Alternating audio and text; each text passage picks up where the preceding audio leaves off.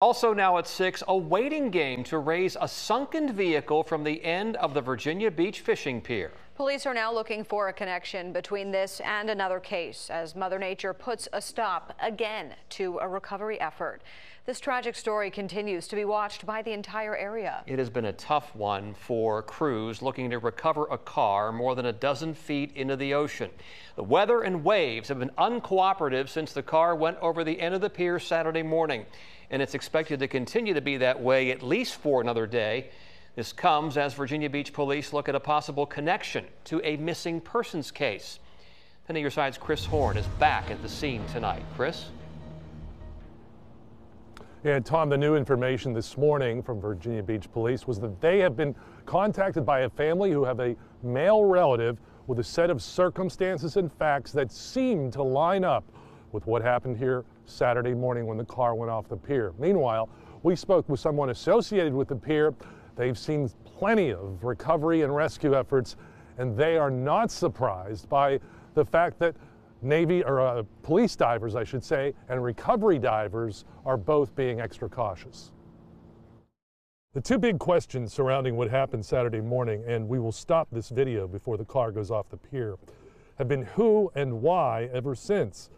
But now a new question has emerged when? As in, when can the recovery divers get down to the car and find whoever's inside? Peggy Hines has managed the gift shop here on the pier for 20 years. The slow pace of the Virginia Beach dive team does not surprise her. We have had a lot of rescues off the pier and around the pier. Mm -hmm. There are huge razor sharp barnacles all up and down those pilings out there.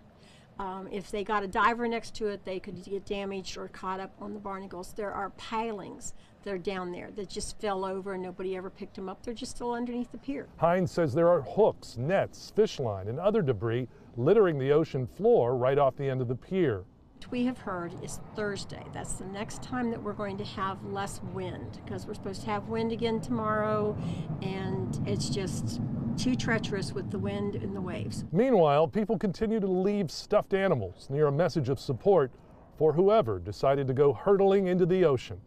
We need to come together as a community and and, and help each other instead of being like negative towards each other and you know embrace everybody's different everybody's different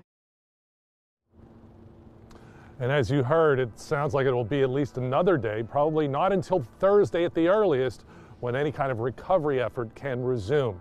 Meanwhile, of course, we will keep this story updated on wavy.com.